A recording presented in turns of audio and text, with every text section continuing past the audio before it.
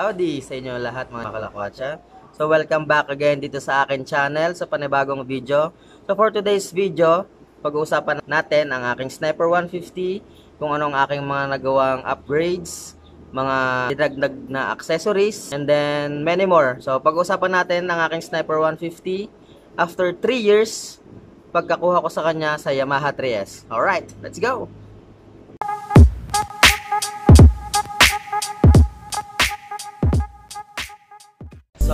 Bago natin pag-usapan ng aking Sniper 150, gusto ko lamang kayong kamustahin mga kalakwatsa. So, ngayon is April 25, 2020, 5 days to go bago matapos ang April at mag-start ng season 3 ng quarantine. So, extended tayo hanggang May 15. Ayan, so stay home lang tayo, stay safe lang, wag mo nang labas ng labas para iwas coronavirus, iwas lahat, okay? So, be safe always. Okay, pag-usapan na natin ang aking Sniper 150. Hindi natin patatagalin to. Ipapakita ko na sa inyo kung ano ang mga naging upgrades at mga accessories na dinagdag ko sa aking Sniper 150. Alright! Okay, uh, pag-usapan muna natin dito sa may pinakaharapan natin na makikita nyo sa aking Sniper 150. So, kung makikita nyo, ang aking headlight is fixed LED na. So galing siya kay Michelin Motor Accessories. Yan, maraming maraming salamat. Ang ilaw ko na ito is almost 2 years na or 3 years. Sa pagkakalam ko kasi nagpalit din ako agad ng headlight pag mula nung nabili ko siya, mga kalakwatsa. Kasi nahihinaan ako sa ilaw kaya matagal na rin siya itong 6 LED na to. Nakalimutan ko anong brand to pero nakuha ko siya kay Michelin. Ayan. So lahat, sabi ko kanina, lahat ng nakuha ko is galing kay Michelin. So tumatagal siya, quality headlights, lahat ng accessories galing sa kanya. So gusto nyo order, nasa description yung link. Click nyo lang yan and then order nyo siya. Sure na quality product sa makukuha nyo. Alright. Dati siya ay halogen. So halogen pa siya, color yellow. So this one is kulay white na siya. Low beam and high beam, color white na siya. So mas malakas siya kesa dun sa stock ng Sniper 150. Ang next natin ay itong Motowolf CP holder. So nakita nyo rin naman yun sa vlog ko, mga ibang videos ko. Nakabit ko siya, okay? So ang pinakabit kong Motowolf is with charger. Ayan, kung makikita nyo, with charger siya. So ayan. Napakahalaga ng cellphone holder para sa atin mga kalakwatsa dahil mahilig tayo sa long ride, mahilig sa mga endurance. So kailangan natin ng maghahawak ng cellphone natin for the maps, pag may tatawag, pag kailangan i-text, 'di ba? So pag kailangan mag-picture. So mainly for this is for GPS para hindi tayo maligaw, 'di ba? And then yung charger niya na nasa gilid niya is para hindi tayo malobat. Okay? Hindi lahat upgrade dito sa aking Sniper 150 dahil ang aking side mirror is for Sniper 135. Bakit Sniper 135 itong aking side mirror? So may kwento dyan mga kalakwatsa. So pangatlong palit ko na dito sa aking side mirror dahil laging ninanakaw. Ayan, so pangatlo ko na to. Yung una, ninakaw, pinalit ko is yung pang stock ng Sniper 150 din. Tapos ninakaw ulit. So ito na, Sniper 135 ang nilagay na. And then, awa ng Diyos, hindi pa naman ninanakaw hanggang ngayon. Uh, medyo matagal na rin siya, almost 2 uh, ah, years na rin mahigit. Bago pa lang itong motor ko is talaga napalitan na itong side mirror ko. Papansinin nyo mas maikli siya kaysa dun sa stock ng Sniper 150. Ayan, nasabi ko nga kanina na ilang beses tayong nanakawan ng side mirror. So, dyan papasok ang accessories. Hindi naman siya accessories. So, safety features na inilagay natin sa ating Sniper 150 So nagpalagay tayo ng two-way alarm. Ayan. So nagpalagay tayo ng two-way alarm kay Boss Michael din ng Michelin Motor Accessories. So ayan, thanks to you. Big shout out Boss Michael. So ito siya, mga kalakwatsa. Ayan. So hindi ito yung two-way alarm ha. Ito yung spare key dun sa may two-way alarm. So yung isa kasi low bat, um, hindi pa ako nakabili ng battery niya kaya ito ang nagagamitin natin. Kaya two-way alarm, tutunog yung motor saka yung remote na isang hawak ko. So dalawa siya pag binili mo. Okay. So testing natin. So ayan. Pag gagalay mo inyo, tutunog siya. Alright, so unlock na natin kasi baka mabulabog yung mga kapitbahay natin, okay? So ayan, pag tumunog yung motor, tutunog din yung remote. So hindi natin may pakita ngayon dahil low bat yung isang remote ko. So ayan, kaya ako nagpakabit ng two-way alarm kasi dahil nga laking ninanakaw tong side mirror ko. Hindi lang yon kung ano-ano pa dyan sa mga motor ko. Kasi yung pinag-parkingan ko dati is talagang nakawin. So, nagpalagay ko ng alarm. Magmula noon, hindi naman na nawalan ng kahit ano dito sa aking motor. Alright. So our next is this RCB handle grip. So mumurahin lang naman siya. So ang bala ko kasi nun mabalit ng setup na may mga touch of gold. So nagpalit ako ng gold. Ayan, so pinagtripan ko lang yan. Pero papalitan natin siya ng domino hand grip yan. So yun ang bala kong ikabit next na domino hand grip. Pero ngayon, pagtsatsagaan muna natin tong RCB na to. At yung papansin nyo nalaglag yung pinaka-bakal niya dito.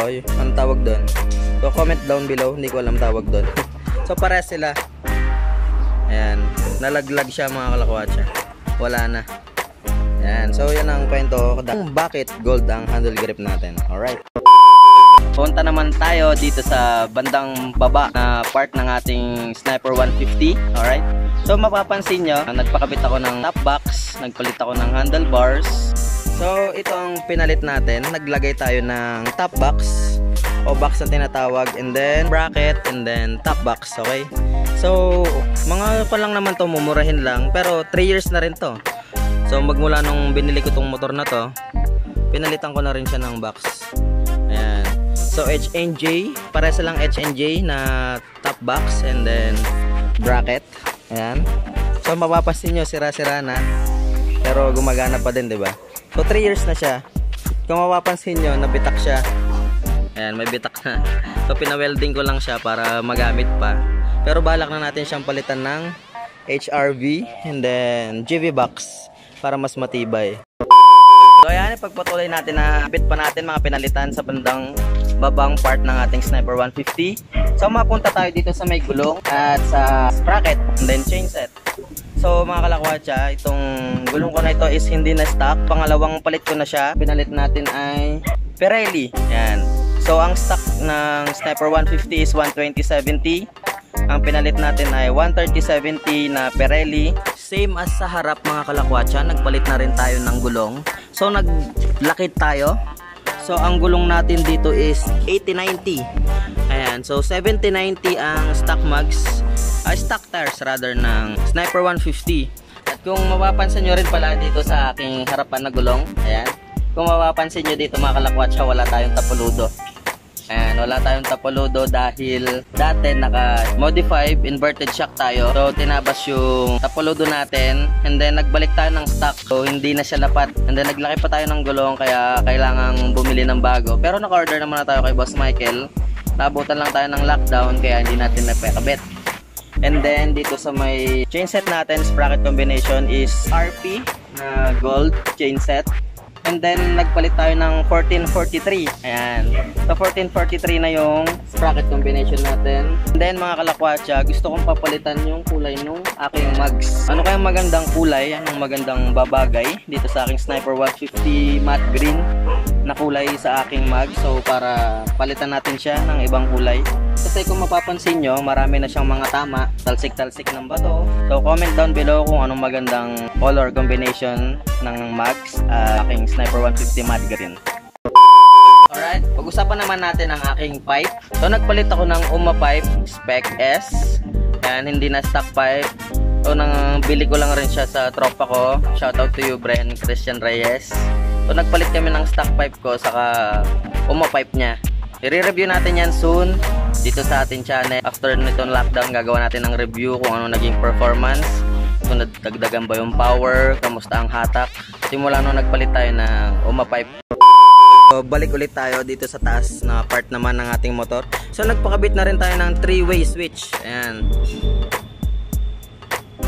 Pakabit na rin tayo ng 3-way switch. So, mapapansin nyo yung mga stock sniper 150, yung mga sinaunang model. Hindi yung 2019 model kasi 2019 model. May mga hazard na yon uh, may kill switch na rin dito. May 3 way switch na rin yon so yung mga unang sniper 150 uh, wala pa tong part na to. Wala pa yung sa light niya sa parking light. Always naka on lang siya. Hindi siya namamatay. So starter lang ang meron dito sa may kanan ng Sniper 150, yung mga unang model. Alright. And then, kung mapapansin nyo, ito, uh, kung button na ito is para dun sa aking auxiliary light. Kaso, pinatanggal ko nung nagpa-modify inverted shock ako. Ngayon nakastock na tayo, ibabalik ulit natin yan. So, after lockdown, ipapakabit ulit natin. So, nandyan yung aking dalawang uh, blue water. So, blue water lang ang gamit ko. Yung iba kasi gumagamit ng mas malalakas pa na ilaw. Ako okay na doon sa may blue water na yun. At idadagdag ko lang mga kalakwatsa, nagpalit na rin tayo ng ating clutch. So nagpalit tayo ng hyper clutch. Gumagamit na tayo ng hyper clutch. So may vlog din ako dyan, may video about doon. So i-review natin siya rin sa mga susunod na mga araw kapag tapos ng lockdown. Stay tuned, abangan nyo yun. So marami tayong padating na mga vlog, mga reviews na kinabit natin dito sa ating Sniper 150 and the rest is all stock na mga kalakwatsa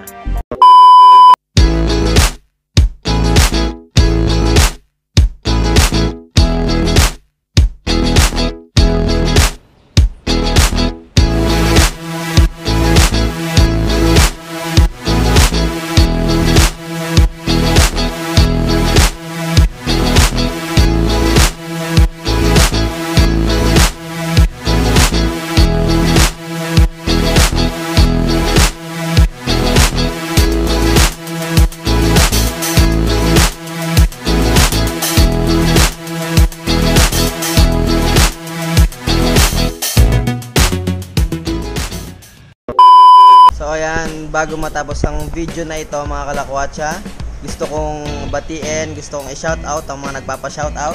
Shoutout kay Kent Punzalan, ayan, shoutout Pops, kay Toto Motovlog, kay Yano Moto, yung mga motovlogger din yan, kay Ray, Ivan Avila, shoutout to you Pops, shoutout kay Pops Michael, shoutout sa motovloggers from Pangasinan, sila Pops Romel, si Pops Chris Roms, motovlog, so subscribe kayo dyan kay Beshika, kay Jeff Marco, Motovlog, kay Pops Rev, kay Raider Prince, kay Vince Moto, kay Ice Sky Moto, yung mga kasama kong motovlogger dito from Nueva Ecija and from Pangasinan. So subscribe kayo mga kalakwatsa para mas lalo pa tayong lumaki, mas tayong pa dumami. So sa mga gustong mag-motovlog dyan, mag-start na rin kayo. So para sama-sama tayo. Alright. Okay. Shoutout din pala kay Renz Pagaduan sa ka-boardmate ko. Andito ngayon sa boarding house eh. So malapit siya sa trabaho ko. So na-lockdown na rin ako dito. Kaya sama-sama kami. Shoutout to yun. Nagpapa-shoutout siya. So nakita niya gumagawa ako ng video kanina. Pa-shoutout daw. Kay Allen at kay Commander. Shoutout to you. To you. shoutout to you. Ayan. So kasama ko pa rin si Snoopy, ang aking Sniper 150. So sa lahat ng gustong magpa-shoutout, so comment down below at shoutout kayo sa susunod na vlog, okay? Alright. Maraming maraming salamat sa lahat ng sumusuporta kay Lakwat Serong Cowboy. Salamat sa mga nanonood ng videos natin. Salamat, maraming salamat. At sa mga nakakilala sa akin at wala pang sticker dyan, so may mga available pang sticker sa akin, lapit lang kayo, bibigyan ko kayo. So maraming maraming salamat sa inyo lahat stay safe, stay at home ngayon na quarantine. At kung nagustuhan nyo tong video na to, please like, share, and subscribe para mas dumami pa tayo at mas marami pa tayong magawang mga videos. And this is your boy, Lakwacherong Cowboy, signing out. Peace!